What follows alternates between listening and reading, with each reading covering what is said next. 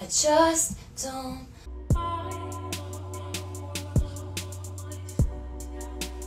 So Taylor just let us into her world during the 14 months of making Tortured Poets Department and these behind the scenes clips. I just don't understand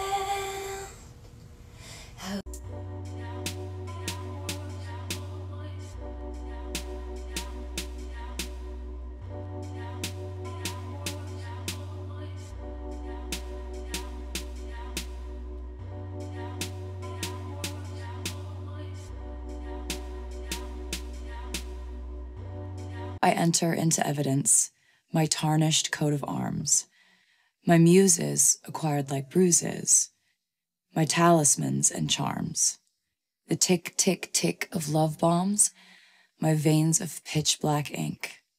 All's fair in love and poetry. Sincerely, the chairman of the Tortured Poets Department.